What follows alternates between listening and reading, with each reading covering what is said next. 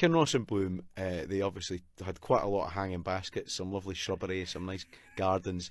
But what they really needed was a bit of muscle. And as a five foot ten teenage boy, I was the perfect candidate. But imagine my horror when I turned up at this industrial estate in Kinross to be handed a Ghostbuster style backpack with a pump on the side on a, a rare hot day in Kinross. And this old guy saying to me, Right, son, you need to conserve the water, so don't go down for the pump.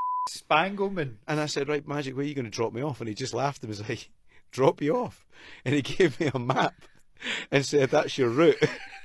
and he said, If you run out of water too quickly, you have to come back here, refill, and then get back out. So I was like, Okay, brilliant. So I was, I was two scooshies per. Uh, per hanging basket. So for every hanging basket, there might have been two pumps and a scoosh, but there's about 60 beeps of the horn of the cars going, Your water, wa- you what are you doing, Gogs?